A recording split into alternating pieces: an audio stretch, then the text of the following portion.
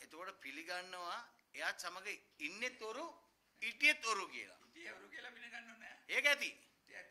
එයාගේ ඒ ප්‍රකාශයෙන් වෙන මොකුත් අපිට ඕනේ නැහැ.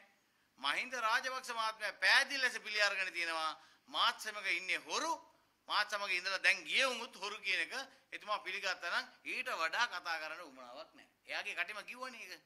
ඒ නිසා අපි ඒකට වෙන මොකුත් කියන්න ඕනේ නැහැ කියන එක මම හිතනවා.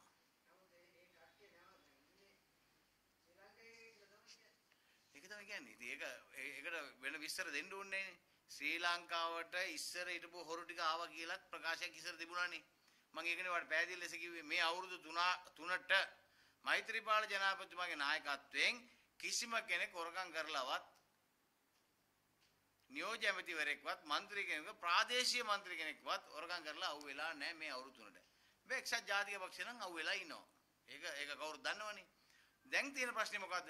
දැන් මෛත්‍රී ජනාධිපති හිටපු පෙරදිච්ච ජනාධිපතිතුමා කියනවා නම් හොරු ඔක්කොම ඒ ගියා කියලා. එතකොට එයා පිළිගන්නවා එයාත් එක්ක ඉන්නේ හොරු. එයාව දාලා ගියත් හොරු කියන එක එයා පිළිගන්න එච්චරයි. ඊට වැඩි අපි මොකුත් කියන්න ඕනේ නැහැ. ජනතාව දැන් තේරුම් ගනි මහින්ද රාජපක්ෂ මහත්තයා.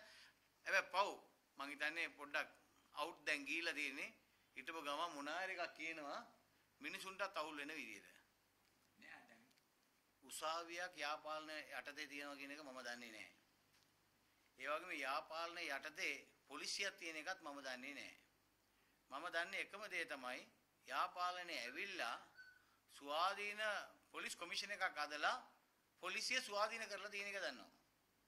ඒ වගේම උසාවියත් පවා ජුඩිෂරි සර්විස් කමිෂන් එකක් දාලා ඒකත් දැන් ස්වාධීනව ක්‍රියාත්මක වෙනවා පරණ මහින්ද රාජපක්ෂේ ගෝලබාලුවෝ ඉන්නවා නැතුව නෙවෙයි ඒත් පුළුවන් තරමකට මේක ස්වාධීන කරලා ජනාධිපතිතුමා හා අගමැතිතුමා කවදාවත් පොලිසියකට කතා කරලා මේ උසාවියකට කතා කරලා මහින්ද රාජපක්ෂ මහත්මයා කරපු විදිහට උපදේශ දුන්නෙත් නැහැ එයාගේ විරුද්ධ විරුද්ධ කට්ටිය අරන් ඉරේ දාන්න ජජස්ලට කතා කරන්නවත් මේ අලුත් ආණ්ඩුව කවදාවත් ඒවා කරලා නැහැ කියන එක අපිට පැහැදිලි ලෙස කියන්න පුළුවන්.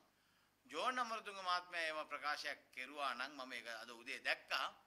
ඒක අපි යාපාලන අදපු මිනිස්සු හැටියට ඒක සම්පූර්ණයෙන්ම හෙලා දකිනවා.